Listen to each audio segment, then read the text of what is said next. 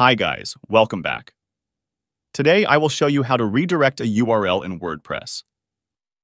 Log into your WordPress dashboard and go to the Plugins section.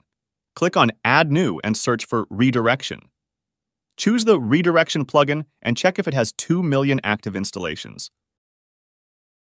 Then click on Install Now and activate.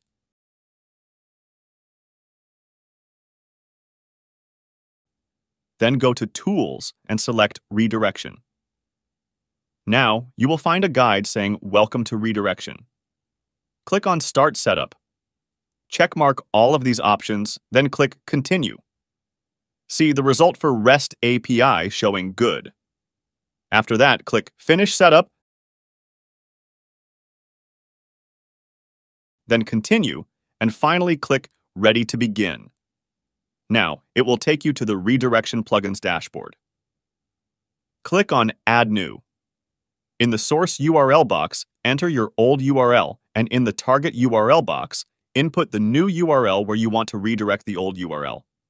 See, I copy my old URL and paste it into the source URL.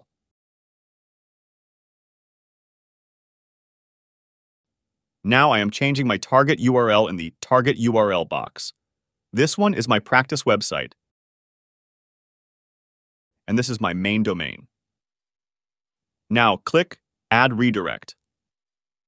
See, my main URL is shown here, and the code is 301.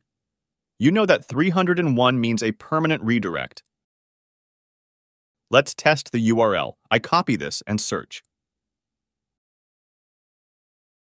See from the XYZ domain, this takes me to the .com domain. Hope you understand how to redirect a URL in WordPress. Thanks for watching. If you found this video helpful, like, comment, and share. Until next time, bye-bye.